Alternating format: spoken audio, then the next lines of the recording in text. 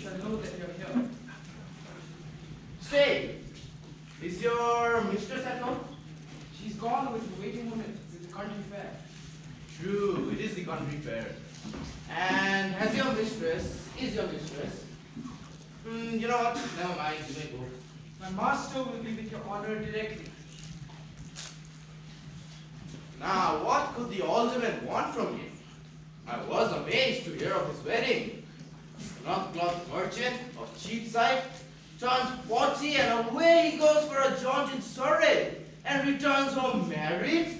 If you please, married, without so much as by a leave to his attorney.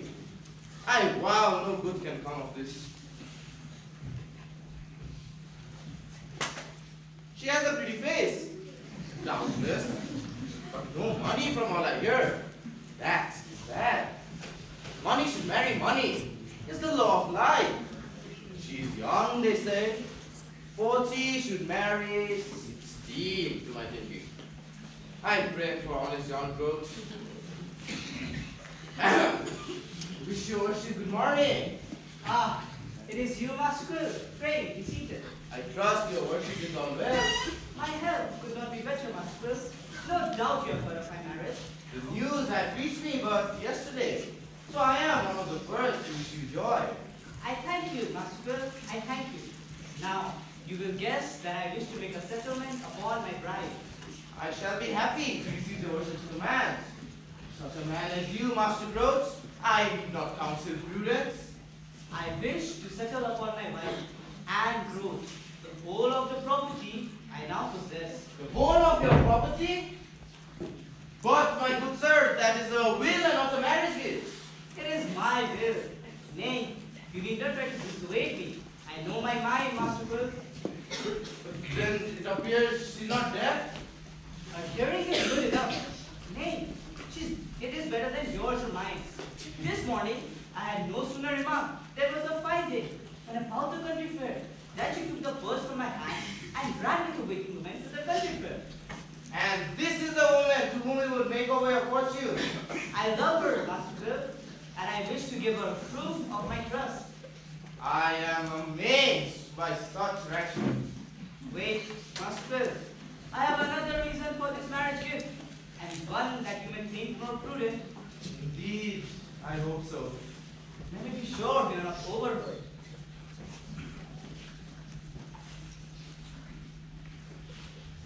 I hear it, Truman Master Quill, that a new tax is shortly to be imposed upon the heads of families according to their means.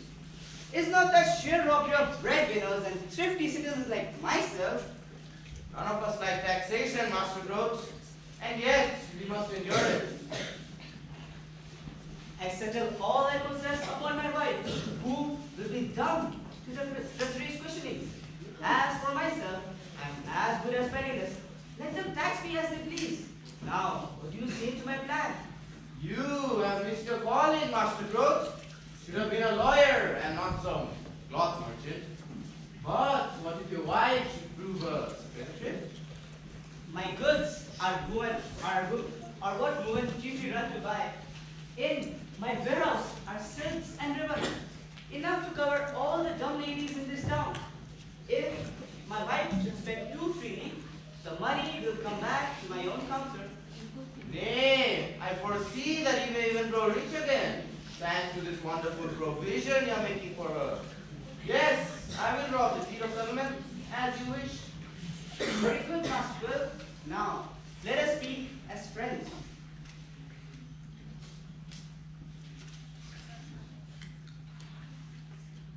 It is true, a dumb wife must be a poor company to a man of spirit like yourself, Master Groats. Yes, I long to hear of her happiness from her own lips, and I know her stands between us. Now I shall take my leave, for I will be unable to pay my respect to Mrs. Anne. No, Master Quill, pray do not leave. She may return at any moment. I hear her steps already. She is here, Master Quill, she is here. Let me but open the door. Ah, Master Groats, I said you were a newlywed better husband.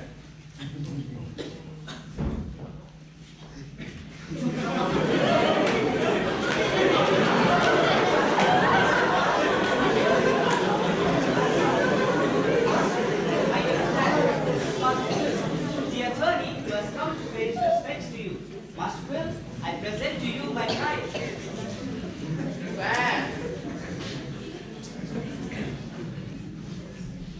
Then, I see the rumor of your beauty is less than the truth.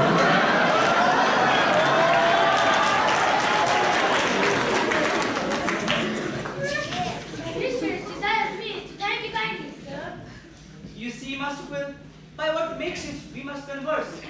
But, my love, what is this moonful look in your eyes? What has befallen you? Was there some right in the fair? Ah, why was I not there to guard you, my treasure? Come, Master Crook, you see your lady before you safe and sound.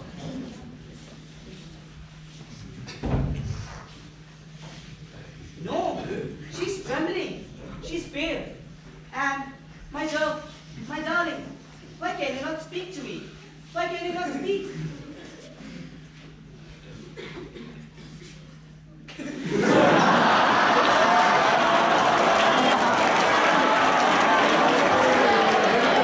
What? Is her own husband not to know what has befallen her? Tell me, woman, Pardon, sir. It was the learned doctor who started the fair. what learned doctor? He who looses the tongues of the dumb to make them speak. Can there be such a man? Tell me, Master Quill. It's true. Is well known. His name is Master Julep, and he sets up his booth at every London fair. With him is a surgeon barber, Master Thunder, who is skilled in the art of severing the thumbstrings of the mutes. I have even seen them perform this operation for a crowd as an advertisement of their craft. You have seen it with your own eyes? Mm, upon whom was this miracle performed? Upon a maid, if I remember right, she was seated in a chair and a draught was administered to her by the anesthetist, Master House. Oh, that was the doctor's name. Be silent, I say. And did the maid speak? Yes, indeed. Now, I'll not swear that she was drowned before, but yes, she spoke afterwards, Fluently? copiously. Uh, Master Quill, why did you not tell me earlier about this famous doctor? You have but this morning told me of your lady's dumbness. You are heartless, Master Quill. Only look at her now. See the mournful eyes she turns upon us as we speak. Does she not bear beautiful speech? Consider her youth, her loveliness. Nay, and assure yourself that she's a woman and not a beanbag. My heart's delight. Would you not prefer to speak? This doctor shall be summoned immediately. Where is my manservant? Matthew! Matthew! I'm here, your worship. Run swiftly to the country fair and fetch me the famous physician, Master Julep, and his surgeon, Master Thunder. Why do you linger here? How should I know them, your worship? Master Quill will tell you. Um, Master Thunder is known by his voice. Bring them instantly. Say that Master Crow, the alderman requires their service. Promise them that I will pay them well. I go, your worship. Ah, what happiness is mine. and, dearest Anne, I have enrolled you already with my worldly goods. Master Quill is here the settlement of my estate upon you. I think you should reflect upon that wisdom of that sword. No, tell me hers. Does that not work for you, my love?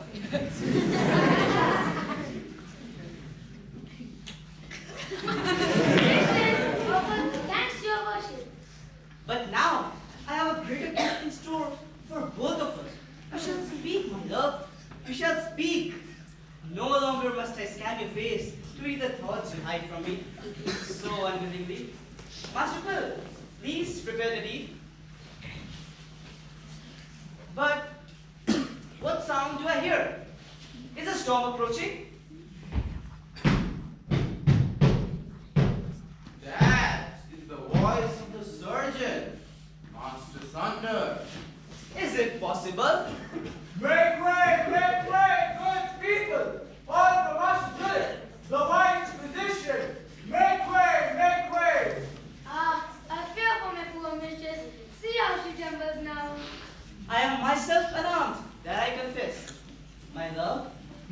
faculty in your own chamber? No, she shakes her head. She wishes to remain my brave and Where is the hall of Benjamin Grove, the clothed merchant who seeks our aid? ah, let me open myself to these great doctors.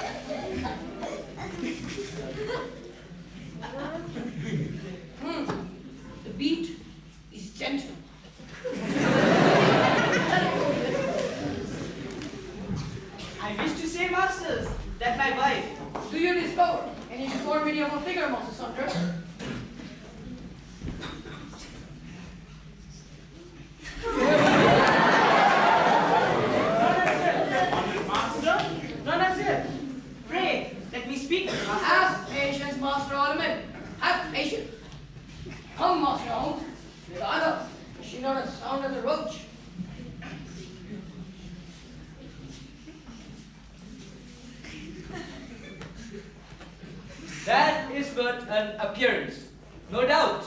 You are right, Master Ounce. A wise physician cannot be deceived. Nay, I have already heard the cause for disorder. Oh, wise physician! Oh, honored master, I am in despair. Pray, let me tell you. I will tell you, Master Ornament, the tale of your wife. Prepare yourself for grave news because she suffers from an apnea. Anaphany? What is that? It is otherwise known to the learned as a mucus, or to the vulgar as one of speech. Alas, my poor wife has been dumb from her birth. Master Ornament, you have the honor to confirm my judgment. I was myself about to declare malady inherent. Now, there is but one doctor who can aid your wife, and I am he. Indeed, I'm glad to hear it, Master Julep. By the grace of heaven, and with the aid of Master Sutter, my surgeon, I have loosened the tongues of countless mute in my time. Is it possible? Let me, let me but reach out a hand towards your wife.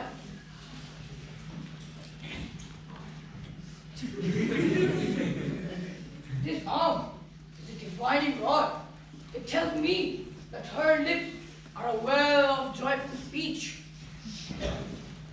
See, let your lady be led to her chambers, please. Can you not perform your surgery here? No, Master Alderman. The tongue of an alderman's wife must not be loosened in the public view, like any paupers. Master Alderman will assure you for the need of overdrawn. Bronze posture is the most favorable to the efficacy of my potion. And to my cleavage of the ligament. What is this motion you speak of? What are these ligaments? Ah, Master Alderman, it is not for the laity to know the secrets of our craft. Nay, we should not speak of them in our patient's own presence. Go, my poor aunt. Go, but first, let me embrace you. Go, my treasure. That is well. Come, Masters, let's follow us. May I not be present at your cure? Surely not, Master Alderman. The word of each must be bathed in decent privacy.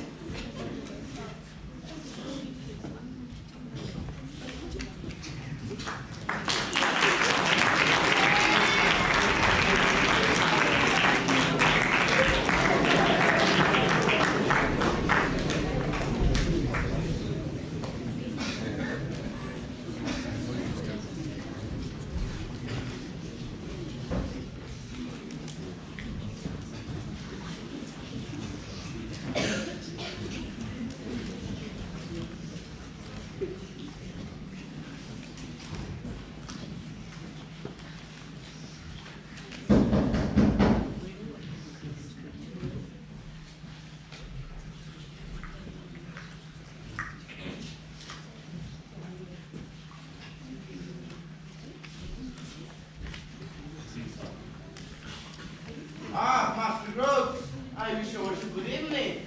Good evening to you, Master Quill. You know, I've been here for a while. And how was it with your lady wife? Smart little operation. I thank you, Master Quill. She's well enough, well enough. Then have the faculty fully loosen the tongue. Hey, Master Quill, of that there can be no doubt. Tell me, what has passed? I was admitted to her chamber to hear the first words that she should utter. Ah, Master Quill, you can imagine my feelings at that moment. There she lay, propped among her pillows, with a smile on her face, looking earnestly upon me, said, My darling, I can speak. Well, that was a good beginning. It was a rare beginning. Nay, it is all I wish to hear. She called me her darling. She said that she could speak. And what then? At these words, there arose such a clamor from the faculty in the praise of themselves and one another that I could hear no more. That should not unduly distress your worship. It is the volume of her speech, even more than the matter that disquiets me. Remember that she has passed a lifetime thus far without speaking, and some arrangements must be made. I am overwhelmed already, Master Quill. Have patience. The flood of speech will subside. It will at least diminish. Ah, it is plain that you have not heard her yet. I shall presently have the satisfaction. Meanwhile, here is the deed of settlement, which I beg you to read at your leisure. Ah, shall I ever enjoy a moment's peace again? Master Quill, she leapt from her bed to address me. She pursued me step by step to my counting house until I locked her out. The very servants are deafened by her. Nay, when she stood at the window this afternoon, conversing with the maid, a crowd assembled in the streets to listen, and the guards came knocking to demand the reason for the disturbance of city traffic.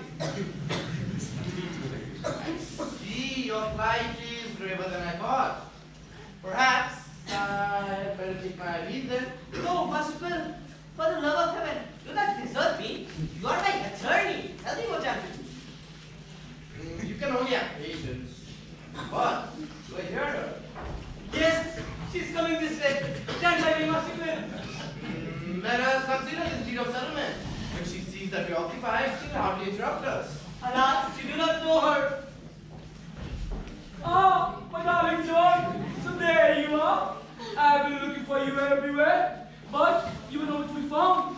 I was told by the servants that you stood in the counting house. But you know how our servants are. Lazy is good for nothing. So whatever comes to the head first. Am I not right, my darling John? My love, this is Master Quill, the attorney. You remember? We have some important business to transact. Of course, I remember Master Quill. How could you think that I've forgotten him? While he was here this morning, when we came from the country fair. And he was the one who told you about the famous doctor who loosened my tongue for me. I'm sure, John, you must be really grateful to him. But, much to be busy on such a day. Remember, it is the country fair, when all of the town takes holiday. Besides, my birthday falls this day week. Have you forgotten that? And what are these papers before you? You need not tell me. Your affairs can wait till another day. My love, these are your affairs. This deed of settlement is to be your birthday present, Mr. Anne. A birthday present for me? Ah, oh, my darling John, let me hug you. what? What is the deed of settlement, Will? You are a great lawyer. You must be able to tell everything. Mr. Anne your husband wishes to enjoy you very handsomely. Ah, my dear General John, let me hug you again. only master Quill that I, only an orphan, until he married me, and now one of the greatest ladies of Cheapside. But as you visit Master Quill, I must not disturb you. Thank you, Mr. Fan. Other matters are more depressing. That is true. Then there's the furnishing of this house, which I must undertake afresh from the beginning. Our linen, our plates, our earthenware, all carried. Yes, my love, I must confess it, even before a guest. This scarcely article used in our house does not need repair. These very cushions on which you are seated must be recovered forthwith. I will disturb you for a moment, Master Quill. Do you not see how the letter is finished? You not feel it? This is the effect of the CDA, because too many fires are burned during the winter time, and we all know how great enemies smoke and damp are of flame. You tell me, our sun seats fit for all of its household. You look at the table, table, tablecloth, it's like an empire you want to tread, and look at the crazy footstool first. Only little thing, Master Quill, how important is a wife's hand after a bachelor's marriage. It is also plain. Mr. Fan, you seem to have private matters to discuss with your husband. Perhaps my business can wait till another day. No, Master Quill, do not leave me. For mercy's sake, do not leave me now. Master Quill shall stay, then he will be able to judge for himself. I ordered a dish of lamb sweetbreads, because I know you love a fry. My bed. Why do you look at me, John? Is something wrong, my darling? Uh, shall I answer or no? Perhaps